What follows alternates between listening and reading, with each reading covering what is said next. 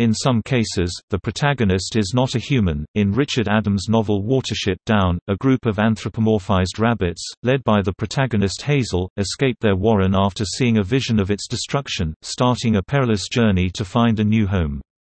In some cases, the protagonist is not a human. In Richard Adams' novel Watership Down, a group of anthropomorphized rabbits, led by the protagonist Hazel, escape their warren after seeing a vision of its destruction, starting a perilous journey to find a new home.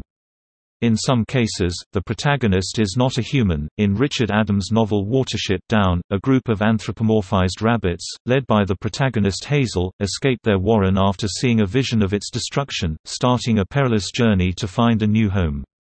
In some cases, the protagonist is not a human. In Richard Adams' novel Watership Down, a group of anthropomorphized rabbits, led by the protagonist Hazel, escape their warren after seeing a vision of its destruction, starting a perilous journey to find a new home.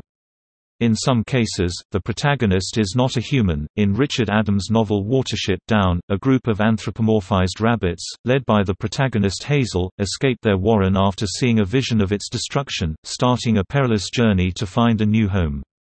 In some cases, the protagonist is not a human. In Richard Adams' novel Watership Down, a group of anthropomorphized rabbits, led by the protagonist Hazel, escape their warren after seeing a vision of its destruction, starting a perilous journey to find a new home.